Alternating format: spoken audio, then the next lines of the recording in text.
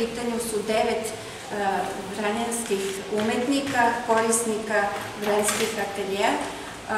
Izložba koja je rađena u Vranju povodom Noći muzeja i došli smo, s obzirom da imamo veoma dobru saradnju sa Narodnim muzejem i sa Galerijom Vranje, to je, da kažem, jedan kolegijalni odnos. Mi smo trebali u septembru da imamo jednu divnu izložbu sa umetnicima iz Hong Konga, iz Kine.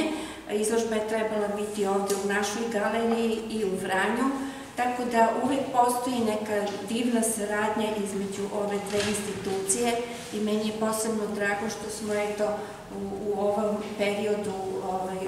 COVID-a napravili jednu lepu postavku. Piroćanci će imati prilike da uživaju naredne dve nedelje